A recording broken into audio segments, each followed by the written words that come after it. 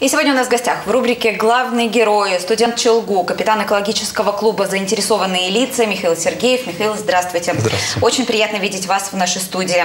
Экологический диктант. Событие такое уже не новое для Челябинска, но мне кажется, очень важное. Насколько, как вам кажется? Важно не то слово, это наиболее актуальный вопрос именно для Челябинска. Челябинск, все мы знаем, что по экологической обстановке, э, так скажем, да, входит, э, ну, такой имеет неблагоприятный опыт, и если ребята, люди, в принципе, старших возрастов, средних возрастов будут писать экологический диктант, э, узнавать свой уровень экологических знаний и способствовать, так скажем, наработки новых экологических знаний будет интересно и будет познавательно для всех людей, всех возрастов. Существует проект «Школа экологии» да, под вашим руководством. Да. Чему он посвящен? Что происходит в этой школе? Чему вы учите? Ну, прежде всего, мы все-таки учим э, людей до 21 года, то есть это школьники, молодежь до 21 года, еще раз повторюсь, эм, учим основам экологически осознанного образа жизни, то есть через цикл образовательных мини-лекций, бесед со спикерами, то есть приглашаем спикеров достаточно общероссийского уровня, общемирового уровня для того, чтобы ребята поговорили, что-то узнали новое. Направлено это все для формирования экологической культуры. Данный проект развивался так скажем, не за один месяц, он долго планировался, долго разрабатывалась программа, и вот уже начиная с сентября по ноябрь мы вот его провели.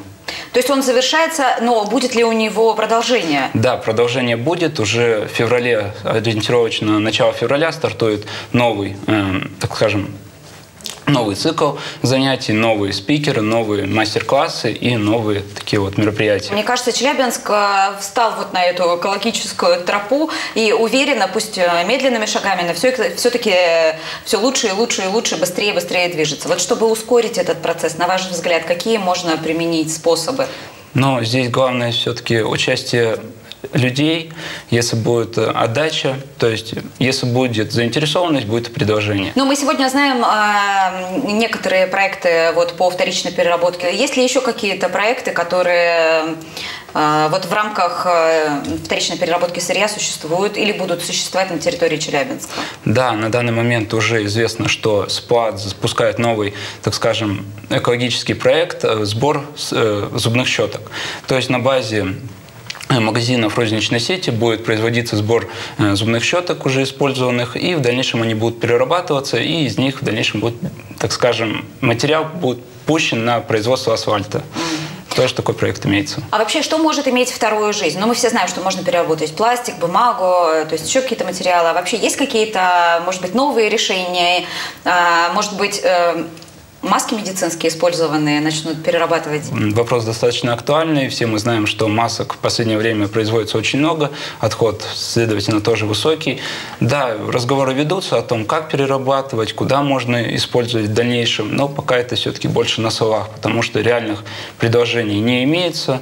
Э, именно в России, если мы говорим про опыт зарубежных стран, то там уже раздумывают о том, чтобы пустить шить из них одежду или какую-то атрибутику. Вы и ваши коллеги принимали участие в «Эко-квесте» «Вода России», где заняли первое место и обошли знаменитую Бауманку, с чем мы вас, собственно говоря, поздравляем. И вот Все. сейчас в ноябре пройдет слет зеленых вузов. Вот с э, какими предложениями, возможно, вы поедете э, и будете ли участвовать в качестве спикера? Да, мы поедем, в принципе, на этот слет. Слет направлен на популяризацию, опять же, экологического образа жизни среди студентов. Э, в слете принимают участие студенты наиболее отличившиеся, э, студенты со всей России, начиная от Крыма, заканчивая Дальним Востоком.